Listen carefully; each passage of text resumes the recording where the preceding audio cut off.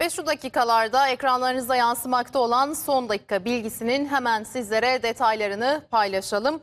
İPD kongreye doğru gittiğini belirtmiştik bültenimizin başında. Ancak Meral Akşener genel başkanlık için aday olmayacağım açıklamasında bulundu.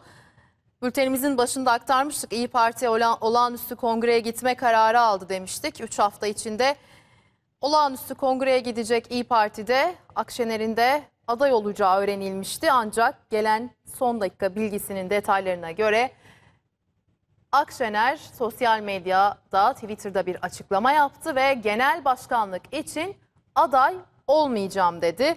Yaptığı son açıklamasında Meral Akşener'in bültenimizin başında sizlere aktarmıştık. İP'de yaşanan bu olağanüstü durumun detaylarını sizlerle paylaşmıştık.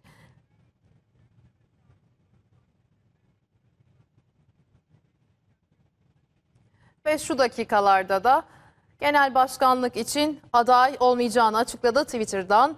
Parti tüzüğümüzün şahsıma tanıdığı yetki çerçevesinde seçimli kurultay kararı almış bulunuyorum ve kurultayda aday olmayacağım. Aday olacak arkadaşlarıma başarılar diliyorum dedi.